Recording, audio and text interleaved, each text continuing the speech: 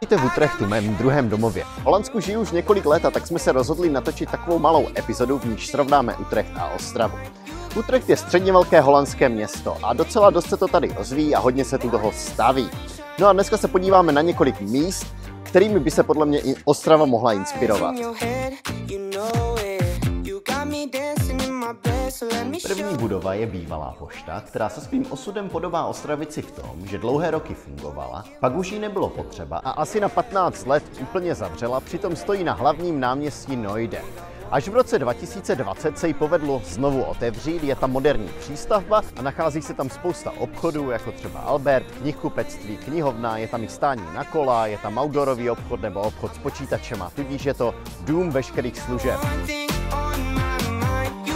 poště je to docela monumentální prostor, ale je upravený tak, abyste se v něm cítili dobře. Velmi sympatické je spojení veřejné a komerční funkce. Tu veřejnou zastupuje knihovná úschovna kol a tu komerční obchody.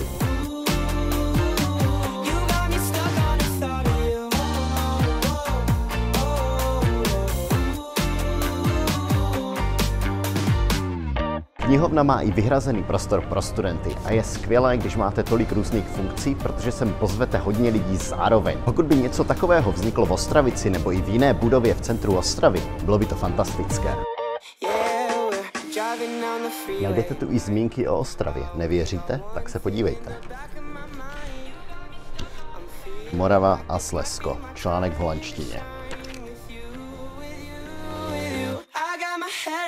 Při důkladném zkoumání budovy jsme našli kavárnu, restauraci, divadelní i filmový sál. Nevím, co tady v té budově není, asi tu je všechno. Co mi na renovaci této budovy pošty přijde sympatické, je, jak to nechali v podstatě v původní podobě, dodali k tomu jednu malou moderní přístavbu a vnitřek je provedený strašně jednoduše a bez zbytečných okázalostí. No a já doufám, že s podobnou jednoduchostí budeme přistupovat i k přestavbám v Ostravě.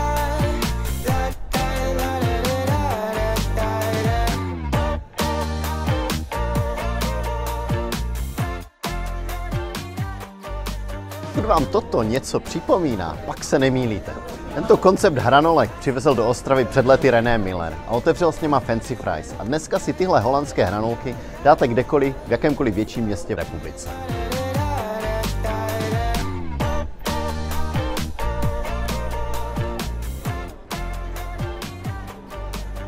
V Ostravě se k podobě hlavního nádraží neustále vracíme, probíhají tam drobné úpravy, ale ten výsledný dojem nikdy není dobrý.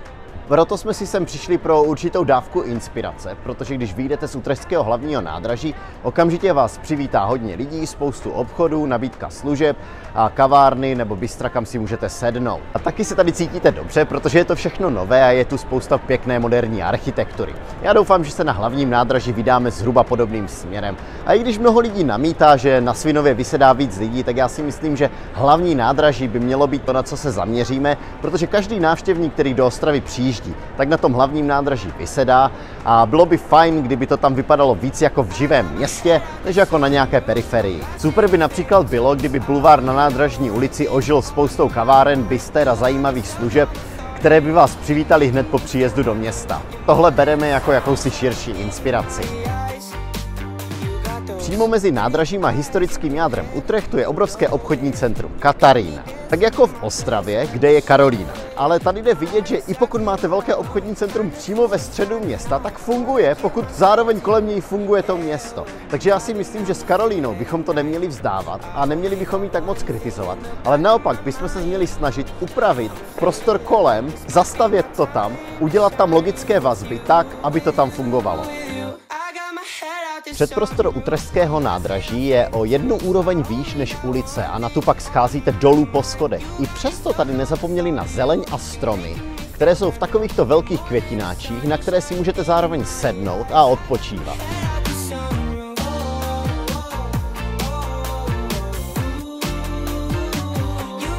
Tohle je třeba všude stejné. Kavárny nebo gastronomie se rozvíjí napříč Evropou a Holandsko a Česko se v tomhle ohledu moc neliší.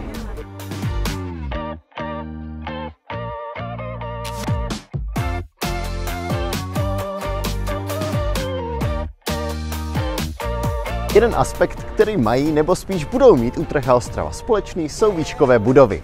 Ostravský mrakodrap, který bude mít přes 250 metrů, brzy vyroste vedle Karolíny. Tady už jich mají několik, většina z nich bylo postavených teprve nedávno, jenom některé tady stojí už delší dobu.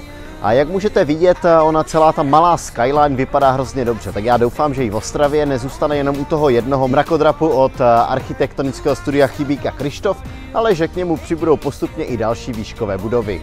Utrecht samozřejmě není jediné nizozemské město, které má svou skyline. Mají ho i větší města jako Haag, Amsterdam nebo Rotterdam, ale i tam menší. Osobně se mi ten kontrast historických center měst a menší skyline moc líbí a těším se, až ho v Ostravě uvidím taky. Je tady i budova, na kterou je nainstalovaný létající talíř. A nebo tady skutečně přistáli mimozemšťané?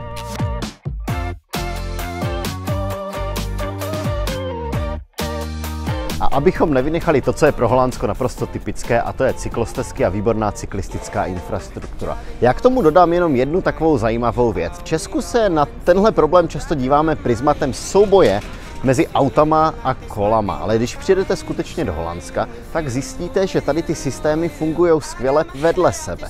To znamená MHD, cyklistika a auta žijou v tom stejném městě, v té stejné zemi a všechny mají stejně kvalitní infrastrukturu.